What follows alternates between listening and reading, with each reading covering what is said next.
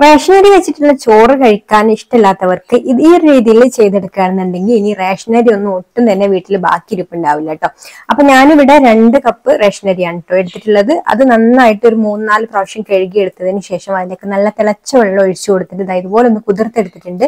തലേ ദിവസം രാത്രിയിലാണ് കേട്ടോ ഞാൻ കുതിർത്തെടുത്തിട്ടുള്ളത്. പിറ്റേ ദിവസം രാവിലെ ആയപ്പോഴേക്കും നന്നായിട്ട് കുതിർന്ന് വന്നിട്ടുണ്ട്. ഇതിലുള്ള വെള്ളമൊക്കെ ഒന്ന് കളഞ്ഞിട്ട് മിക്സർ ജാറിൽ ചേർത്ത് കൊടുത്തിട്ട് അരച്ചെടുക്കാൻ പോവാണ്. വെള്ളം ചേർത്ത് കൊടുക്കാതെയാണ് കേട്ടോ നമ്മൾ അരച്ചെടുക്കുന്നത് അപ്പൊ ഇടയ്ക്ക് നമ്മൾ ഇതാ ഇതുപോലെ സ്പൂൺ വെച്ചിട്ട് ഒന്നിങ്ങനെ ഇളക്കി ഇളക്കിയിട്ട് വേണം അരച്ചു കൊടുക്കാൻ വേണ്ടിയിട്ട്.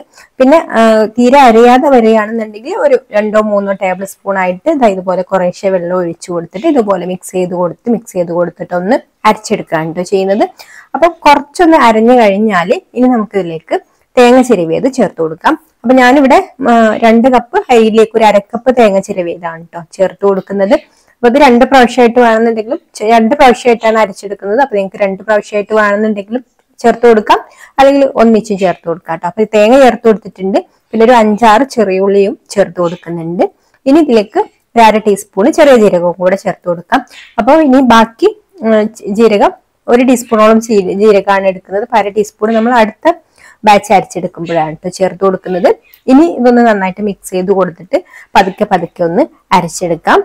ഒരുപാട് നല്ല ഫൈനായിട്ടൊന്നും ഇത് അരച്ചെടുക്കാൻ പറ്റില്ല കേട്ടോ കുറച്ചൊരു തരിയോട് കൂടിയിട്ടാണ് നമുക്ക് അരച്ചെടുക്കേണ്ടത്. അപ്പൊ നമുക്ക് ഏറ്റവും കുറച്ച് വെള്ളത്തിൽ അരച്ചെടുക്കാൻ പറ്റുന്നു അത്രയും കുറച്ച് വെള്ളത്തിൽ ഇതാ ഇതുപോലെ ഒന്ന് അരച്ചെടുക്കാം. കുറച്ചൊരു സ്റ്റിക്കി ആയിട്ടുണ്ടാവും കേട്ടോ മാവ്. അപ്പൊ അതൊന്ന് ബാലൻസ് ചെയ്യാൻ വേണ്ടിയിട്ട് ഇതിലേക്കൊരു കാൽ കപ്പ് നമ്മൾ സാധാരണ പത്തിരിപ്പൊടി ഉണ്ടല്ലോ അതും കൂടെ ചേർത്ത് കൊടുക്കുന്നുണ്ട്. പിന്നെ ഇതിലേക്ക് പാകത്തിലുള്ള ഉപ്പും കൂടെ ചേർത്ത് കൊടുക്കാം. എന്നിട്ട് കൈ വെച്ചിട്ട് നന്നായിട്ടൊന്ന് കുഴച്ചെടുക്കുക കേട്ടോ. ഈ ഒരു ഉപ്പൊക്കെ എല്ലാ ഭാഗത്തും എത്തുന്ന വിധത്തിൽ തന്നെ കുഴച്ചെടുക്കുക. അല്ലെങ്കിൽ നമ്മൾ അരച്ചെടുക്കുന്ന സമയത്ത് വേണമെന്നുണ്ടെങ്കിൽ ഉപ്പ് ചേർത്ത് കൊടുക്കുക കേട്ടോ. അപ്പൊ ഇതുപോലെ നന്നായിട്ടൊന്ന് കുഴച്ചെടുത്തതിന് ശേഷം നമുക്കൊരു ഒരു പാകത്തെ കൺസിസ്റ്റൻസിയിൽ കിട്ടും. അപ്പൊ ഏറ്റവും കുറച്ച് വെള്ളത്തിൽ ചേർത്ത് കൊടുക്കുകയാണെന്നുണ്ടെങ്കിൽ വെള്ളത്തിൽ അരച്ചെടുക്കുകയാണെന്നുണ്ടെങ്കിൽ നമുക്കിതിലേക്ക് പൊടിയും ചേർത്ത് കൊടുക്കേണ്ടി വരില്ല കേട്ടോ. ഇനി കൈയൊന്ന് നനച്ചിട്ട് ഇത് അതിൽ നിന്ന് കുറേശ്ശെ ഉരു ഇതുപോലെ എടുത്തിട്ട് നന്നായിട്ടൊന്ന് കയ്യിൽ വെച്ച് തന്നെ ഇതുപോലെ ഒന്ന് ഉരുട്ടിയെടുക്കാം. എന്നിട്ട് ഞാൻ എന്താ ഇവിടെ ഒരു പ്ലാസ്റ്റിക്കിന്റെ ഒരു കവർ എടുത്തിട്ടുണ്ട് കേട്ടോ. അതിൽ അല്പം വെളിച്ചെണ്ണ ഒന്ന് പുരട്ടി കൊടുത്തിട്ടുണ്ട്. ഇനി ഇതിലേക്ക് നമ്മൾ ഈ ഒരു ഉരുള വെച്ച് കൊടുത്തിട്ട് കൈ വെച്ചിട്ട് തന്നെ ഇതാ ഇതുപോലെ ഒന്ന് പരത്തി കൊടുക്കുക ഒരുപാട് തിന്നായിട്ട് പരത്തിയെടുക്കേണ്ട. കുറച്ചൊരു തിക്കായിട്ടാണ് കേട്ടോ നമുക്ക് പരത്തിയെടുക്കേണ്ടത്.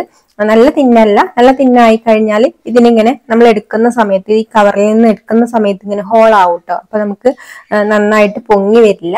കുറച്ചൊരു തിക്കായിട്ട് വേണം ഇതുപോലെ ഒന്ന് പരത്തി കൊടുക്കാൻ ഇപ്പൊ സൈഡൊക്കെ ഇതുപോലെ ഒന്ന് ലെവൽ ചെയ്ത് കൊടുത്തിട്ട് കയ്യിൽ വെച്ചിട്ടുണ്ട്. ഇതുപോലെ പരത്തി കൊടുക്കാം.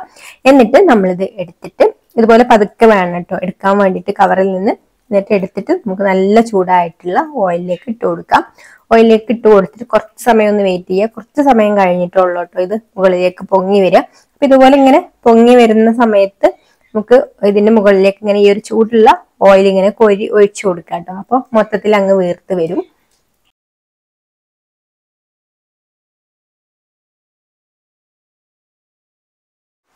ഹൈ ഫ്ലെയിമിൽ തന്നെയാണ് കേട്ടോ ഇപ്പൊ വെച്ചിട്ടുള്ളത്. ഇനി നമുക്ക് ഇതൊന്ന് മറച്ചിട്ട് കൊടുക്കാം. എന്നിട്ട് ഈ ഒരു സൈഡും കൂടെ ഒന്ന് ചെറുതായിട്ടൊന്ന് കളർ ഒന്ന് ചേഞ്ച് ആയിട്ട് വരും. ചെറുതായിട്ട് ഒരു ബ്രൗൺ കളറിലേക്ക് നീങ്ങും കേട്ടോ നന്നായിട്ട് ബ്രൗൺ കളർ ആവേണ്ട. അപ്പൊ ചെറുതായിട്ടൊന്ന് കളർ ഒന്ന് ചേഞ്ച് ആയി വന്നാൽ നമുക്കിത് എടുക്കാം. അപ്പൊ ഇതുപോലെ നമുക്കിനി റേഷൻ കടയിലെ ഈ ഒരു ചോറ് വെക്കുന്ന അരിയൊക്കെ ഉണ്ടല്ലോ. അപ്പൊ അതൊക്കെ കിട്ടുന്ന സമയത്ത് ഇതുപോലെ ഒന്ന് ഉണ്ടാക്കി നോക്കൂ കേട്ടോ ബ്രേക്ക്ഫാസ്റ്റ് ആയിട്ടോ ഡിന്നർ ആയിട്ടൊക്കെ ഉണ്ടാക്കിയെടുക്കാൻ പറ്റിയിട്ടുള്ളതാണ് ഈ ഒരു നെയ്പ്പത്തിരി അപ്പൊ നമ്മൾ പൊടി വെച്ച് ചെയ്യുന്നതിനേക്കാളും പുറംഭാഗമൊക്കെ നല്ല മൊരിഞ്ഞിട്ടുള്ള നെയ്പ്പത്തിരി നമുക്ക് കിട്ടും. ഇങ്ങനെ അരി അരച്ചിട്ട് ചെയ്യുന്ന സമയത്ത്.